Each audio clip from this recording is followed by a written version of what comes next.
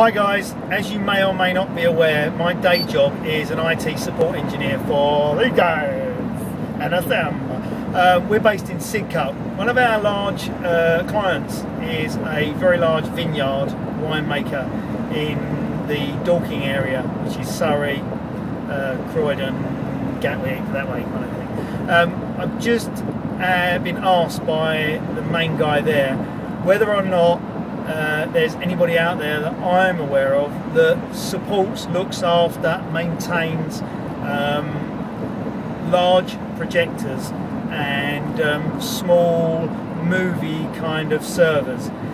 What they have is they have uh, a tour that they do around their vineyard, and one of the parts of the tour is going into uh, a large auditorium where they have seven projectors all set up in a circle pointing at different screens and they run a movie slideshow with an audio commentary running in the background. We have done work for their server before in the past, but um, we don't really touch that kind of thing. I was just helping out. They have a full soundboard um, series of sound cards or sound boards that run the sound from one speaker to another. They are dealing with a company at the moment which, in his words, are crap, and they're actually looking for a small company to give them more personal one to one kind of help. They're looking at the moment for seven uh, bulbs for seven projectors. I know for a fact they've been quoting nearly £400 a pop for these bulbs.